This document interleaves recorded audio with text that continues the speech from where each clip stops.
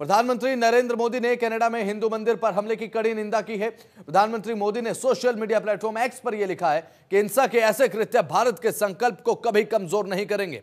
PM Modi ने यह उम्मीद जताई है कि कनाडा सरकार न्याय सुनिश्चित करेगी और कानून का शासन बनाए रखेगी।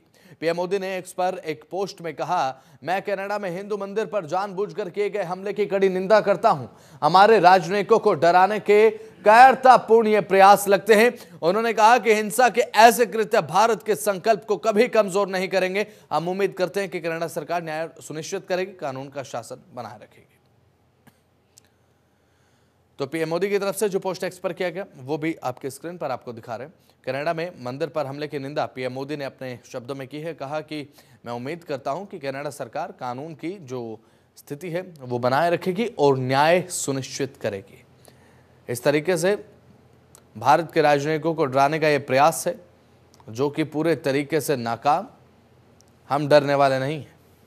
तो पीएम मोदी ने कनाडा को एक तरीके से ये बात भी कही है कि कनाडा सरकार न्याय सुनिश्चित करे और साथ ही साथ कानून की जो स्थिति है, उसे बनाए रखे। तो कनाडा में आपको बता दें कि हिंदू महासभा के एक मंदिर पर हमला किया गया, जिसमें